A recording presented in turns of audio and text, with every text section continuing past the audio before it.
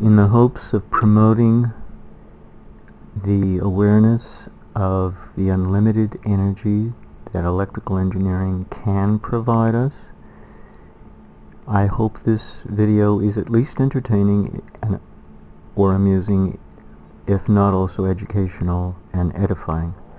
But certainly I do not hope that this video is harassing in any way, shape, or form. Because I know a lot of people would like to hold their ears whenever they hear the word over unity or free energy because it hurts their ears, literally. So here we go. We'll plunge right into it. This is a theoretical explanation as to why it can be possible to make a solid state electrical device with no moving parts create seemingly more output than input. Here we go. It all hinges on what we can do with current, not voltage. So we're not making more wattage necessarily, although that will it'll look like that, the end result. But we we make more current, or we don't make. Let's let me back up a bit.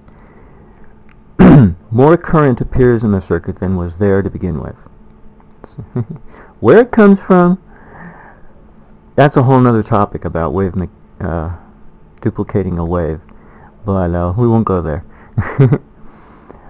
now, electricity is like a football team in which you have a lot of players and a number of players, or any kind of team sport, a number of players just sit out on the bench the whole season and they don't play unless called upon to do so to fill in for somebody else. So it doesn't matter then whether we say uh, energy out has to equal energy in because we're not making use of all of it anyway. But also it's a team effort in which all the team members participate and contribute and they're all important, the ones that participate, and they're all important the ones that don't but stand on the side and, and wait. And that's the way it is with electricity. It's not a singularity when we talk about it. So when we say energy in has to equal energy out, that's so bogus because it oversimplifies the situation to the point of suppression. Literally. It's to suppress talking about it or thinking about it, which is what I've done only to discover that I probably already know this stuff deep somewhere in my soul and it's just a question of being having been devoted enough to apply myself that I'm able to figure out the details with the help of the simulator and information online and interacting with a few people. So, what will I do, have done in this latest circuit at is.gd forward slash syncur, S-Y-N-C-U-R, Samuel Yesterday Nancy chastity, understanding, relationship. Those six letters after the is.gd. is.gd as in is good. It's a good link. um, that circuit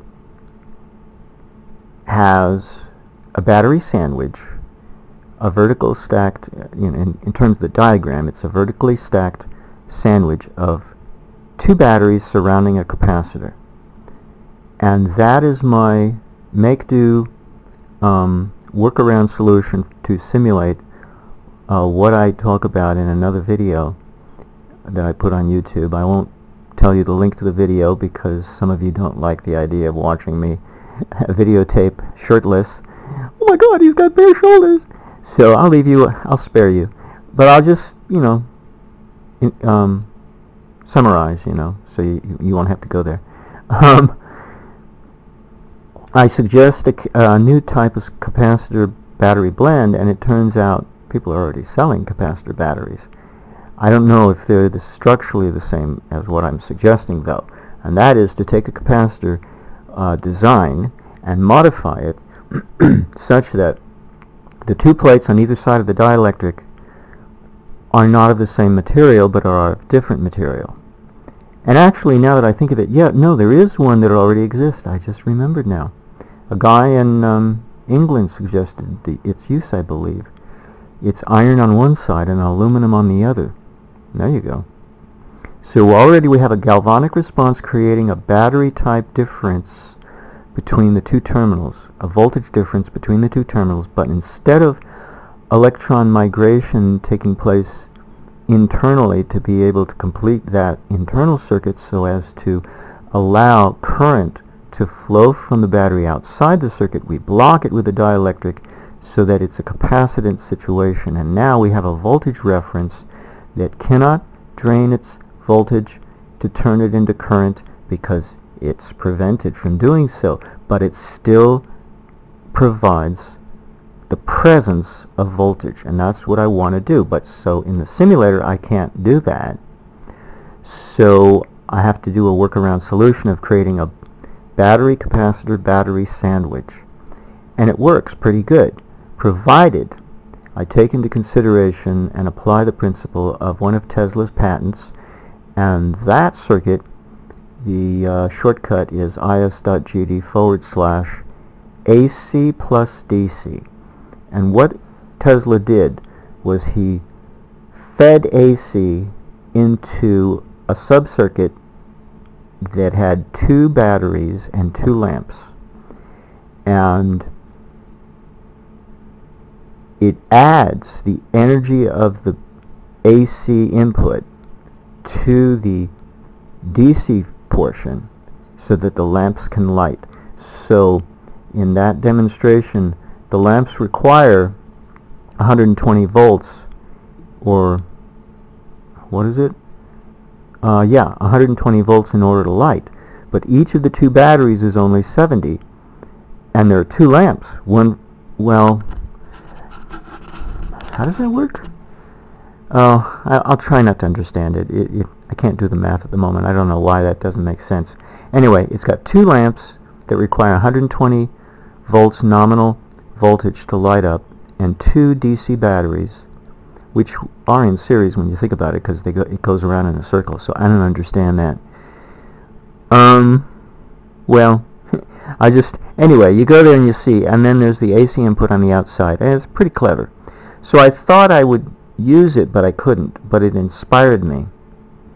Because what happens is in the Syncur circuit the AC from the two aerials comes in and it shimmies back and forth through that ba battery capacitor battery sandwich at a low level of amperage, um, no higher than 4 amps or less. It could be half a, half a micro or 200 nano amps, whatever. It's very low considering the fact that each of the two batteries on either side of that capacitor are 108 volt uh, unit or pack of multiple units to make 108 total on either side so that there's 216 lined up uh, in series with that capacitor. And the capacitor in the middle is 10 uh, millifarad I chose to use because it seemed to be best.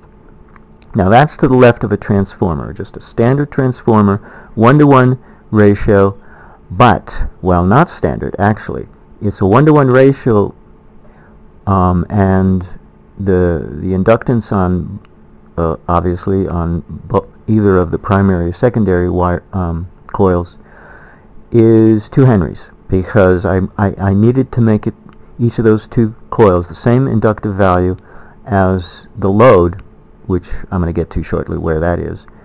And the load is also 2 henries and I, I'm just guessing maybe the motor in my uh, electric car my RAV4 EV from 2002 is overall a total of uh, two henries of all the coils added up together if they were like you know combined somehow. The total the total um, production of uh, inductance is two henries. I'm just guessing. I don't know what it is because um, it's not on the spec sheet. Usually you don't find something like that on the spec sheet for a motor. I don't know why not.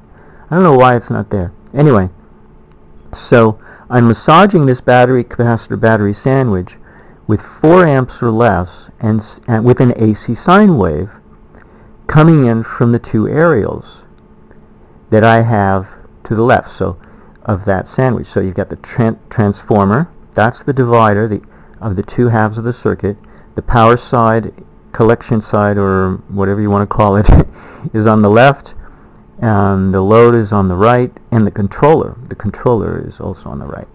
Anyway, I'm describing the left-hand side, but first of all, the transformer is a weak coupling, and this is crucial and vital for the operation of this device to operate at all efficiently, is that it have a weak coupling. And at first I chose 0.5. You know, a simulator, normally the standard default is 0.999, but I made it 0.5, and then I found that it even gets better if I make it 0.1. So there's probably no limit to how efficient this uh, circuit can be made simply by reducing the coupling coefficient on the transformer. The efficiency can be improved. And it's reverse logic to what we would think, you know. But, you know, there's nothing about free energy that's normal. if you have to accept it into your life, the only way to do so is Alice in Wonderland through the looking glass. Nothing is as it seems. Alright? So, we've got the transformer in the middle, and then we have the battery sandwiched uh, across the left-hand coil, um, across meaning um, it's connected to both terminals of the left-hand coil. And then coming out, we've got two leads from each of those two junctions. And those two leads might have a little tiny resistor of one micro um, ohm each. Um, but then they terminate in two aerials. And the size of the aerial matters because, or not the size so much as the surface area because we want to maximize surface area. We also want to, it would be nice to elevate it, you know, but then if you elevate it, you got, you know, problems attracting lightning and whatnot. I don't know why people are so, so you, I guess you've got to have a grounding protection in case there's a surge, it should go to ground, but we don't want them to be grounded. These are not grounded aerials. They're floating above ground. They have to be isolated from ground unless struck by lightning, okay? And the more surface area, the better. And so the example I take, design uh, um, um, parameter, is an, exa an example from C. Earl Amman. That's spelled A-M-M-A-N. So A, Mary, uh, Apple, Mary, Mary, Apple, Nancy. C. Earl. Earl. C is um, the letter C is in Charlie. I don't know what his first name is. And his middle name is Earl, E-A-R-L. And there's not a whole lot of information on the guy and what he invented, but there's enough to inspire me. So, he used bronze hollow spheres on either side of the front end of his car, stationing each, positioning each, attached over the headlight of his car, and he managed to drive his car around his EV without the need for a rechargeable battery pack. How he did it, I have no idea. But that's part of the clue of how he did it, because that's part of the circuit. So I took that into consideration and I realized I needed to make a circuit of two aerials, not one.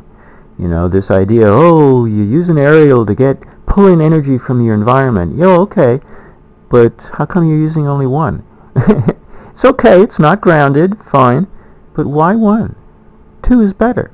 And that's and you position them in such a way that the air flows between them to increase capacitance, to increase, increase insulation between them, increase resistance to the point of in, as close to infinite resistance as you can get so that it becomes a capacitant relationship between them in space rather than a, merely a resistive one. Because if you've got an ionic channel, then you've got conductivity to some degree along with resistance to some degree.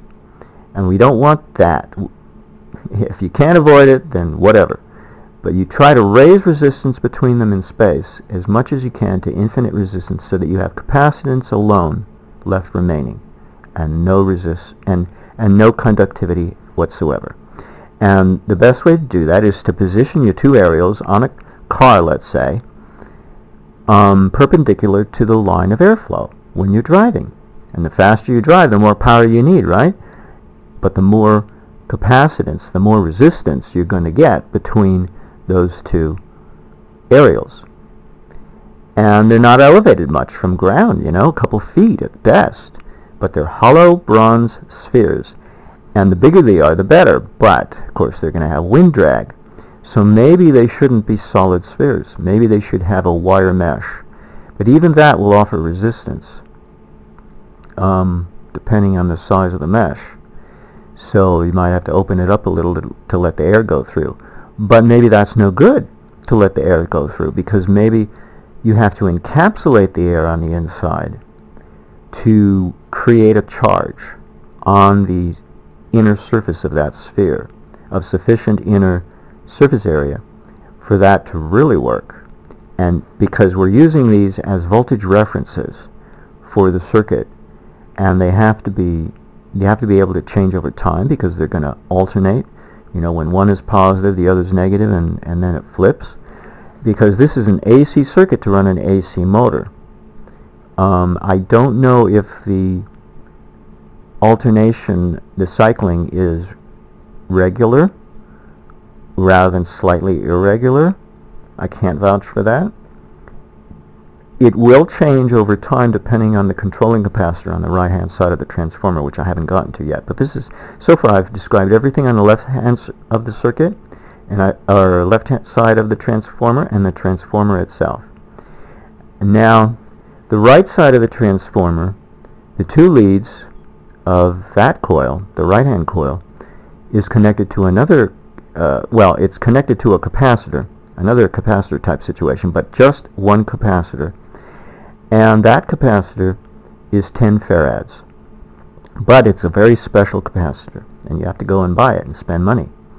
It's a vacuum tube variable capacitor invented by Nikola Tesla in which he filed for a patent in 1896, but on Wikipedia the article doesn't say he received the patent. Um, so I don't know. But it did become commercially available a year before his death. He died in 1943 and became commercially available in 1942. Now, that capacitor, the shortcut to the Wikipedia article is is.gd forward slash Tesla cap. So Thomas, Edward, Samantha, Larry, Apple, Charlie, Apple, Peach, Tesla cap. Um, so now that cap is variable and you're going to be varying it to a high maximum probably no more than 10 farads and a low you want to be able to go down to a low of 10 millifarads and anywhere in between. Um, because you're going to be varying it, jimmying it up and down, up and down, up and down. And it has a very interesting property when you do this in the context of this circuit. Gradually at first without perceptibility at first you are actually increasing the level, level of amperage in this circuit far beyond the voltage level of this circuit. And it, if, it not, if not for the battery capacitor battery sandwich on the left hand side, which will actually add voltage to the circuit because it's lending its voltage without spending it because it doesn't. When, when I scope that sandwich or actually when I scope the um, the topmost battery, you know, so one battery on that battery capacitor battery sandwich, it merely gets massaged by a sine wave of amperage, 4 amps or less, and it never um, is exclusively either positive or negative to indicate whether or not it's exclusively charging or discharging. It's always doing both alternately in equal amounts. And so it never changes its state of charge overall over time.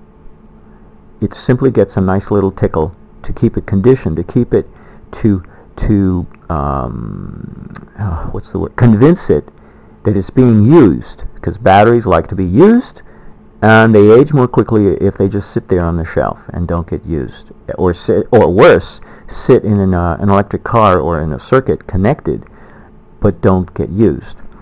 So it maintains the state of charge, the health of the battery, its state of charge as well, and without using it.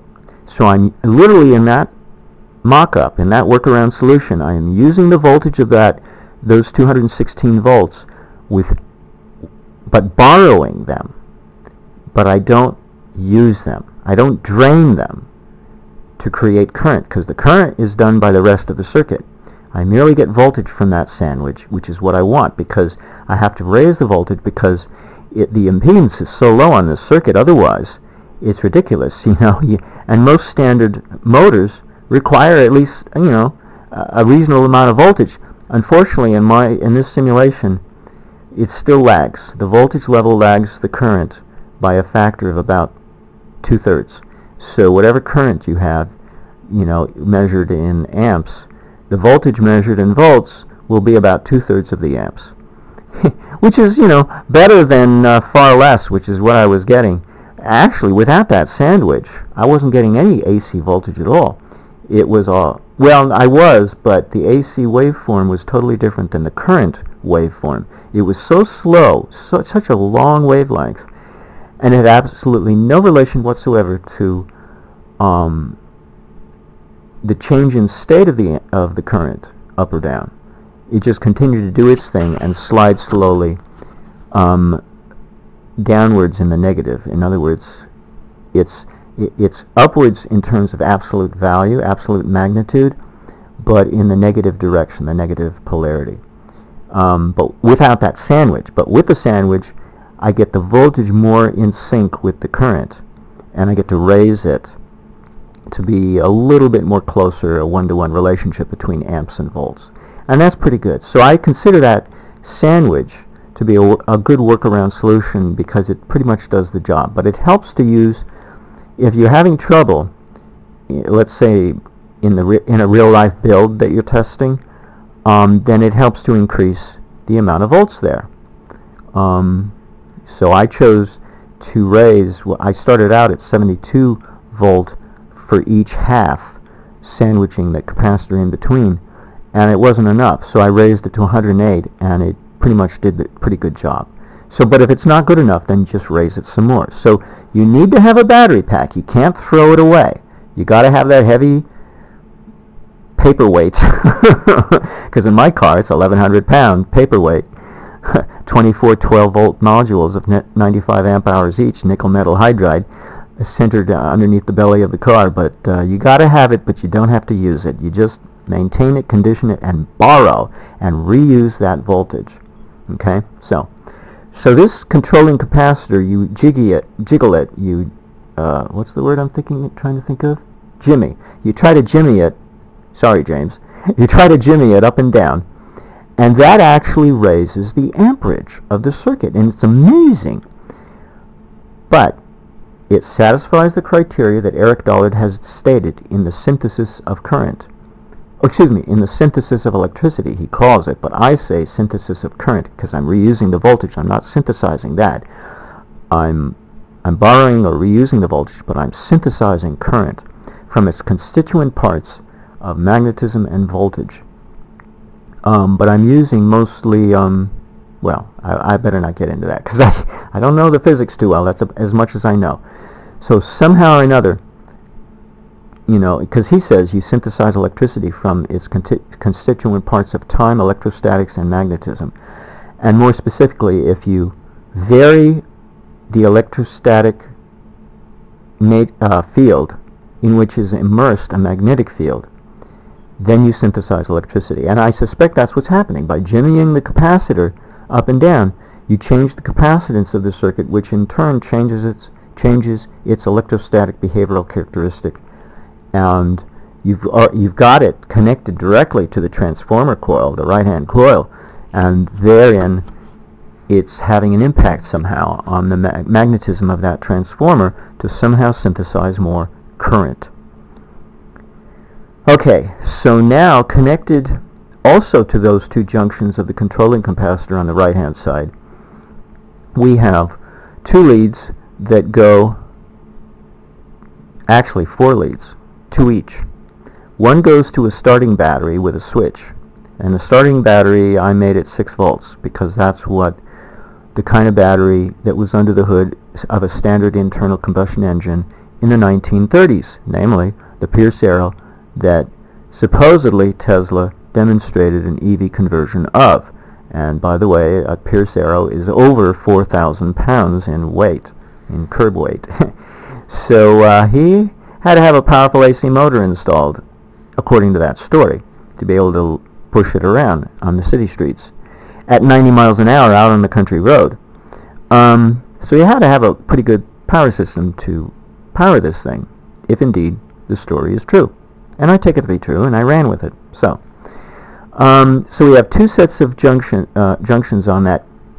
So we have really three subcircuits, or three, yeah, three subcircuits on the right-hand side of the transformer. And we only have two on the left-hand side, but we have three on the right-hand side. But one of those three we don't use except once in the very beginning from a cold start.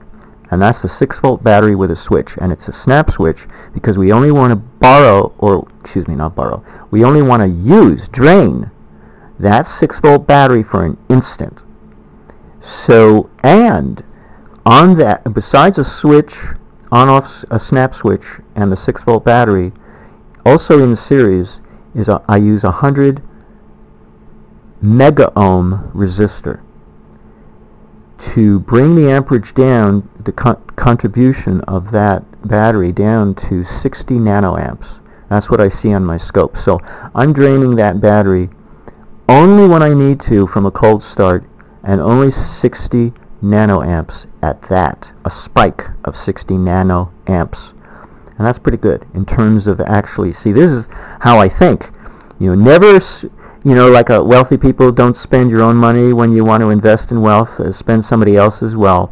When it comes to spending energy from a, a source outside the circuit, namely a voltage source, that it's going to cost us, such as a battery, I try to spend as little as possible and only when necessary. And when the circuit is live, if it never goes dead, or until it goes dead, let's put it that way, until it goes dead, I have every opportunity to keep it alive forever no matter what the load up to a reasonable limit. There's always reasonable limits in all these things. Because if you go beyond the limit, the circuit will die. Duh. Because you got to take the trouble. See, and, okay. And when we get to the second subcircuit, the load circuit, we also have to have an on-off switch, but not a snap switch. This is a, a switch that engages on or engages off the load coil, which in this case is represents the motor coil. Because we can't do two things at once in the circuit. We either drive the load with the energy from the circuit or we disconnect the load from the circuit and raise its power level. And then when we get it raised to where we want it, then we engage the load um, subcircuit to uh, provide power to the motor coil. But now we're not jimmying the controlling capacitor, its capacitance value up and down. You know, the variable vacuum tube capacitor. We don't jiggy, jimmy it up and we don't wiggle it up and down. Because uh, you won't, not because it'll harm anything, because, but because, well, I don't think it will, I don't know. But, but because it won't do anything.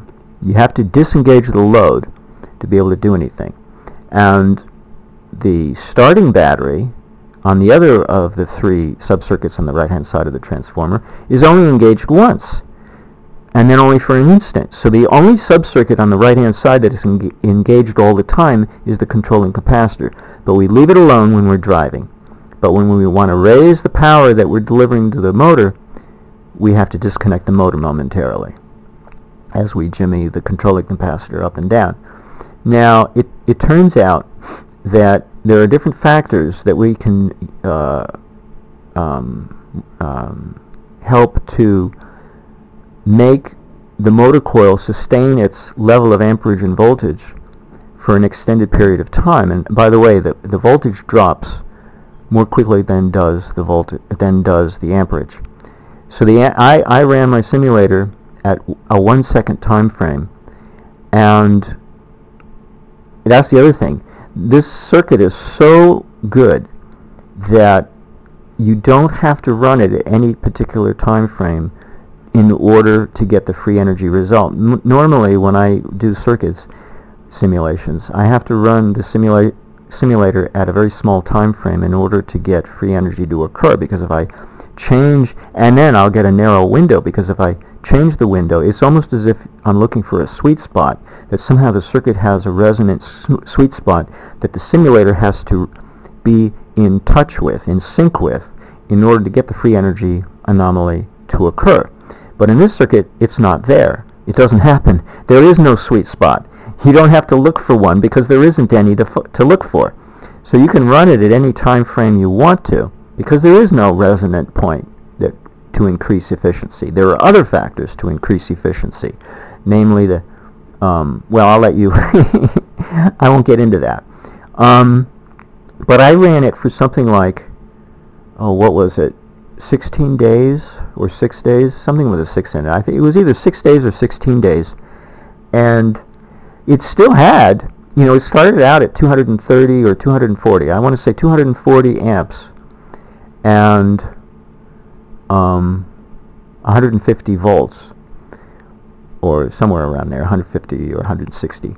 Um, 240 amps and 260 volts. And the volts dropped after the end of those day period, multiple day periods. It dropped to around 30 volts, which is pretty much a big a drop. But the amps only went down to about two, 208, I want to say, some, somewhere around in there. So it really sustained its amperage very well. It's the voltage, unfortunately, which dropped so precipitously. So that's um, it probably that can probably be fixed somehow. I don't know how, but uh, you know, I've only spent two days on this circuit, you know, so I'm pretty good, aren't I? I can whip these things out. Know, I spend a lot of hours, and I push myself. I got swollen feet yesterday. Anyway, so um, that pretty much completes the description of the circuit. Um, and I hope that you try it out and see if you can get it to work as well as it did in the simulator. I don't see why not because I tested it under two different simulators.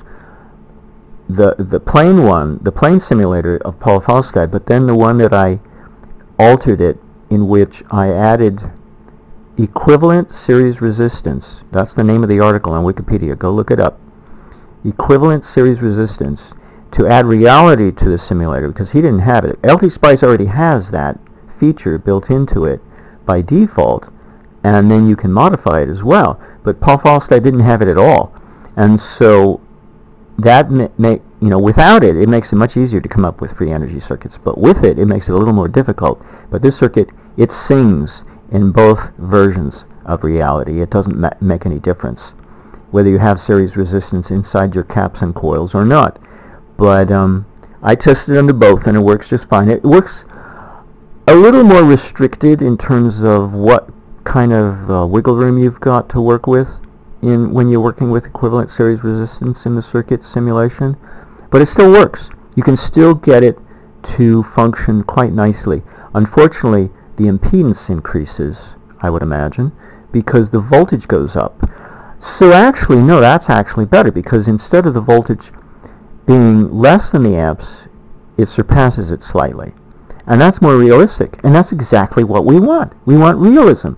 We want to deliver what we're accustomed to. So Greg Tuntlin is a guy on YouTube who wanted, he, he literally, he specifically said, give me a circuit that'll give me 200 amps and 144 volts for my EV conversion. And I guess I've succeeded, maybe. There, there is one caveat to the circuit, I must say, despite all of its benefits and, and good points. There's one caveat, and that is um, besides requiring a com uh, computer to manage this thing, if you don't want to, you know, monkey with it manually to get it to run it. But in Tesla's day, I'm sure that you know they didn't have car computers, so I'm sure he had to do it manually. Um, but the one caveat aside from that is that um, that's a minor thing, so I, I don't consider it a second caveat. The one main caveat is that it's a bit randomized when you're jimmying it to increase its power gain, its current to increase its current gain. It's not its power, excuse me. It's not the watts. To increase its current gain, um, it's a bit randomized. You don't know. I mean, there is a certain window, maximum and minimum slightly, every time it jumps up. See, what happens is when you lower the capacitance, you lower the amperage. But when you raise it, more often than not, you will raise it greater than it was before. Greater than what, actually greater than what you had lowered it. So you end up with a gain. But sometimes you can gain too much, and, and it depends how much you leapfrog around.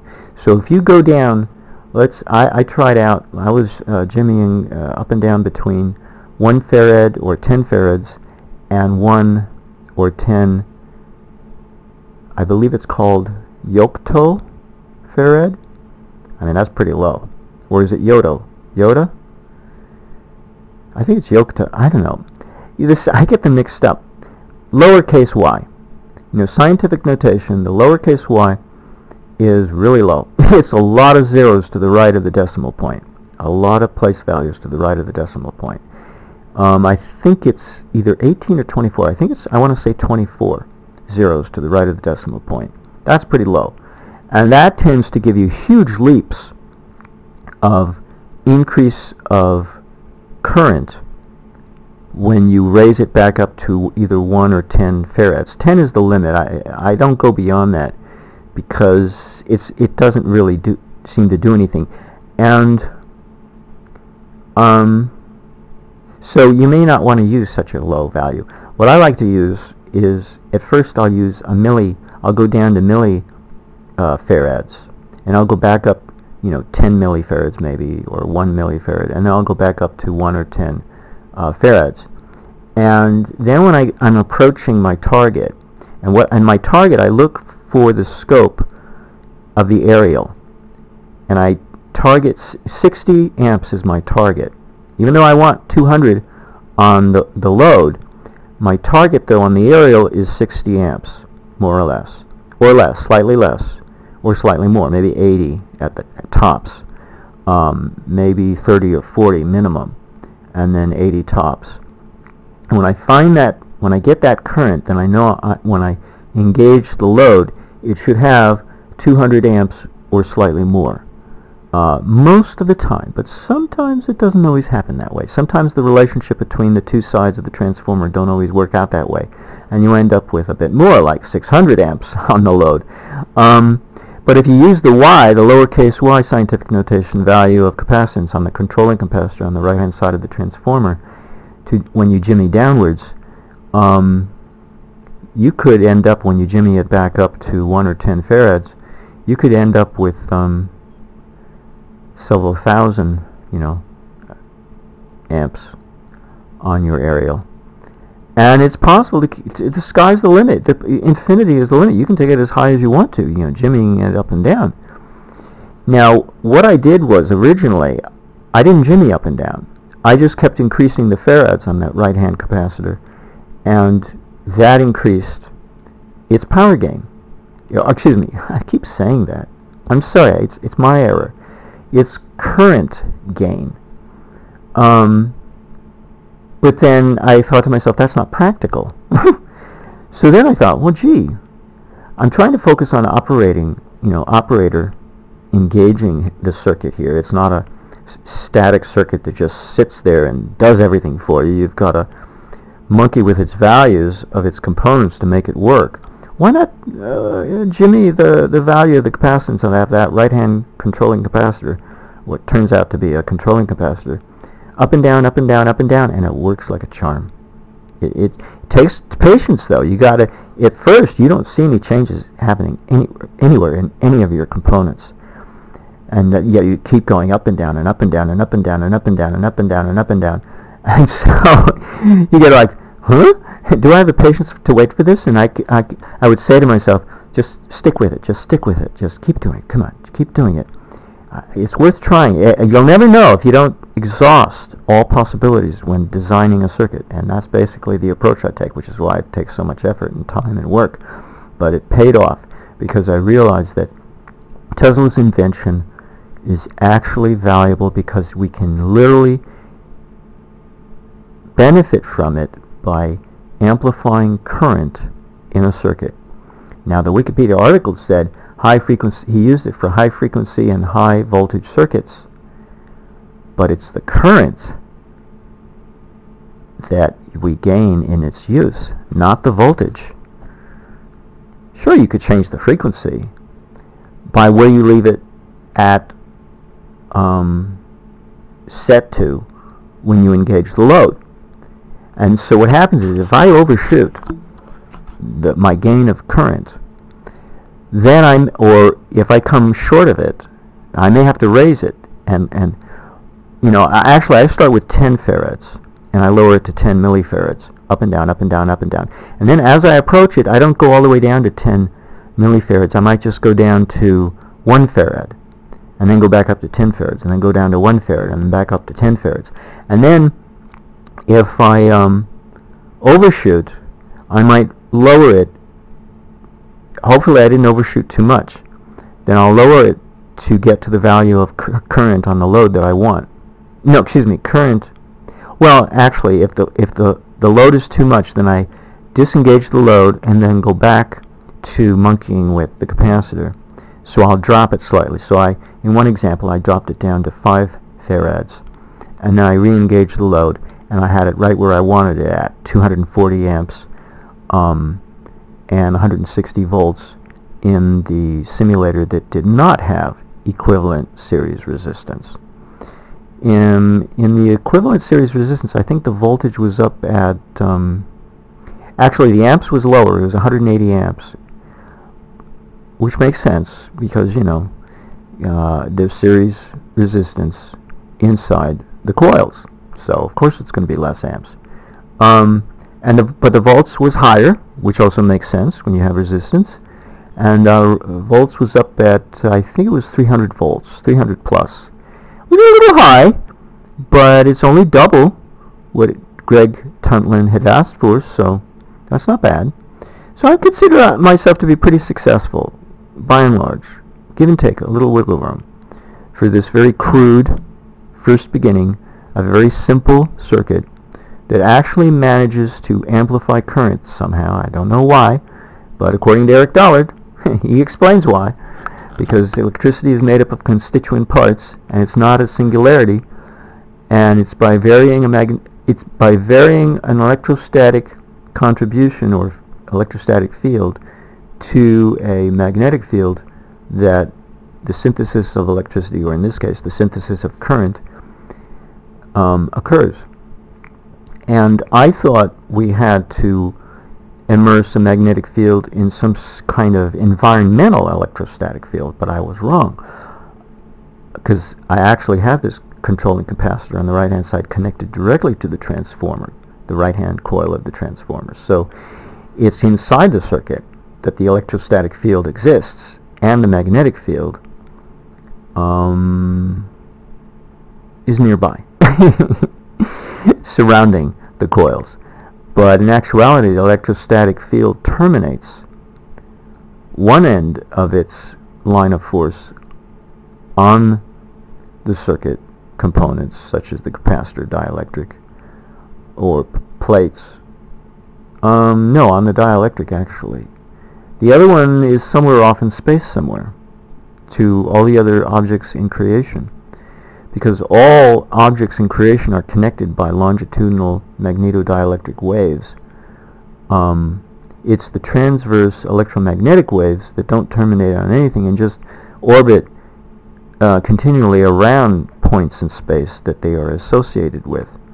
And those are the ripple currents that we see on the surface of a pond or the tr transverse electromagnetic waves that standard conventional theory tends to harp on and focus on a lot, but there's this other kind of wave that does not travel in space, unlike a ripple wave. It's a shock wave that travels in counter space. And this counter space is what we call akasha in the Sanskrit. It's also called, um, well, akasha is actually the cover term for both space and counter space. No, actually it's called the ether, or counter space if you prefer. the realm of imaginary numbers um, and complex numbers um, because you can't measure counter space, the values of what goes on there.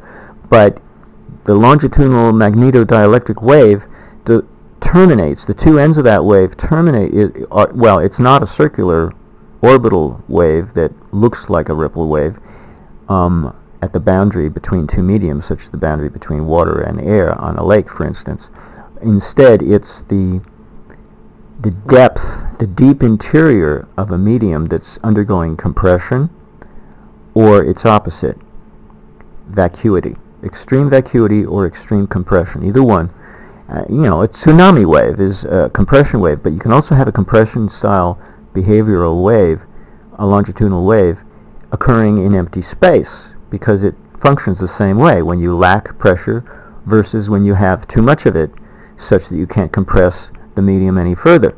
The behavior of that longitudinal shock wave is the same.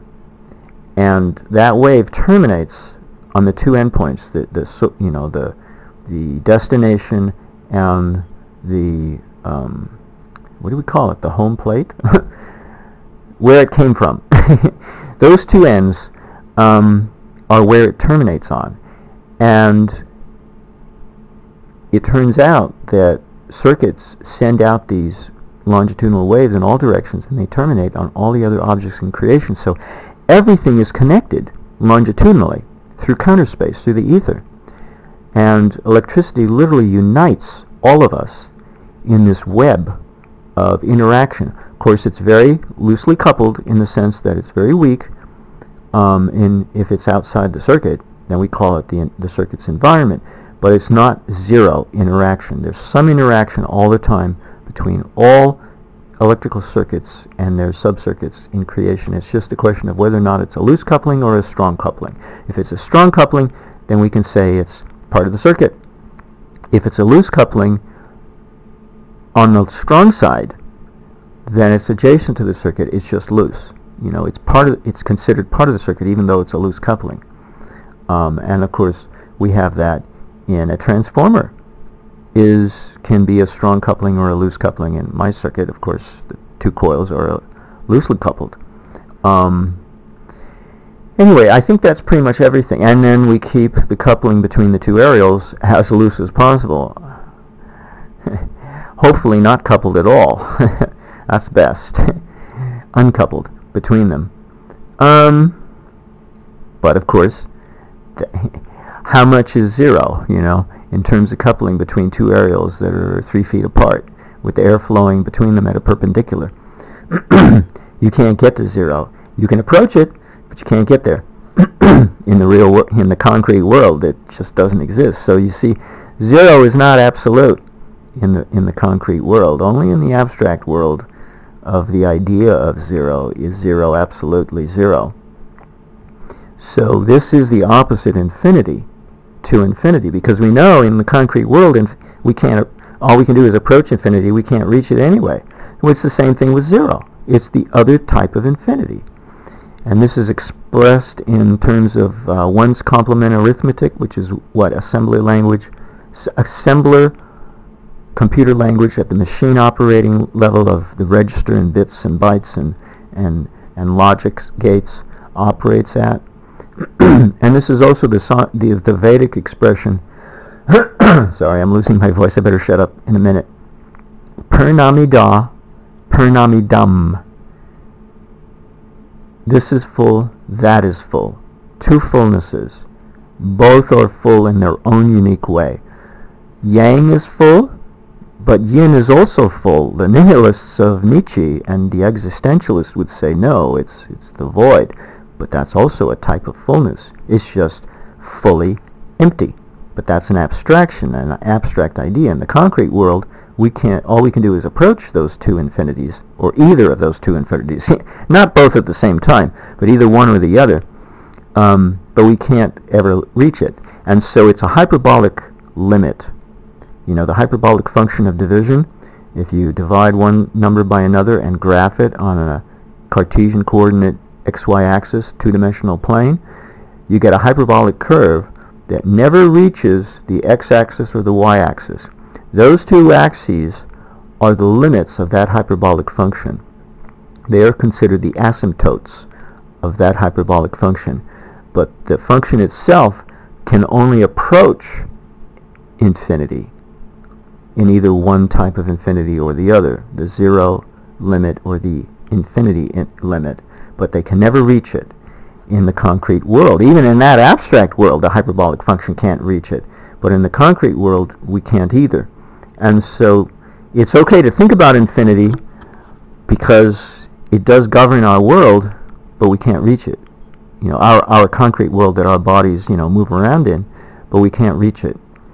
Um, but we can exercise the option to manufacture free, or excuse me, amplify for free current. And we can also reuse voltage without spending any by draining it to convert it into current. So that's why we separate the two. That's the secret to free energy is we separate the two. We reuse the voltage, but we somehow gain the current by synthesizing it from its constituent parts. And I suspect that's also a reuse situation as well, or else we wouldn't be able to get away with it, would we? So there's a lot of recycling going on with electricity, and it doesn't surprise me because it's not the same as burning a log of wood in a fireplace. That's a, a consumable because we're converting wood into ash and char, charcoal, in which we can still burn the charcoal somewhat, but the ash we can't. It's already fully burnt. And so we got to go buy some more firewood and clean out the fireplace of all the ash accumulating there so that we can have a nice fire. But it's not the same with electricity. The relationship is not the same between what we are spending, supposedly, and and the energy that runs the thing is something else entirely. So we have to get that straight in our brain that electricity is not a consumable product. It is something we can reuse again and again. But the conversion of what we are consuming or losing is the current. That is what we are losing. That's what heats up the coil and dissipates heat into the environment um, and depletes the current in our circuit and then we have to go fetch some more current from somewhere. And so we, if we fetch it from a battery, a voltage source, we deplete the voltage on that battery. Well, I don't want to do that. I want to reuse the voltage on that battery. So I don't go to the battery to get my current. I don't go there. I synthesize it inside the circuit. I only go to the battery to either start the circuit, very little a uh, drainage to get it going from a cold start, but when I want to raise the voltage on this voltless, seem for the most part, very low voltage situation, then I simply borrow it. But I also get, I give it back because I use AC. So I, I take it and I give it back. I take it and I give it back. And so that that battery, capacitor battery sandwich never loses its voltage and simply gets a massage in exchange to keep it conditioned, to keep it healthy, to keep its state of charge and its um, freshness, its youthfulness, vigor alive and well for as long as possible as the you know the materials of construction of that battery will allow. So I think it's a pretty good crude circuit. Crudeness aside, I think it's pretty good. It's also very simple and very elegant in how it approaches the situation.